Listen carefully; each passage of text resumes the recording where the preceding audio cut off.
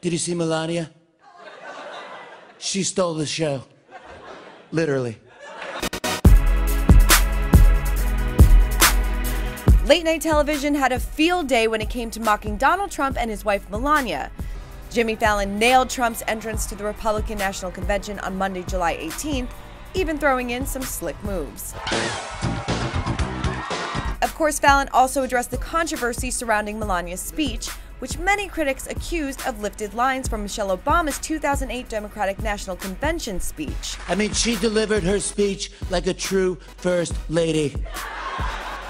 That First Lady being Michelle Obama, but still, she did it harder, better, faster, stronger.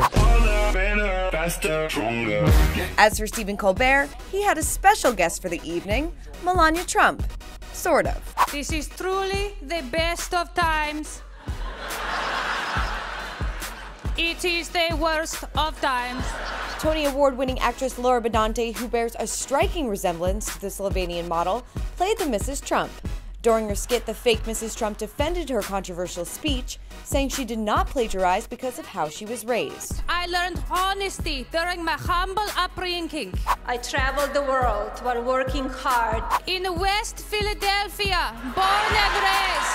From there, she quoted everything from the Beastie Boys to Braveheart to even Kit Kat bars. Give me a break! Break me off a piece of that Kit Kat bar! For more on the story, keep it here at usmagazine.com.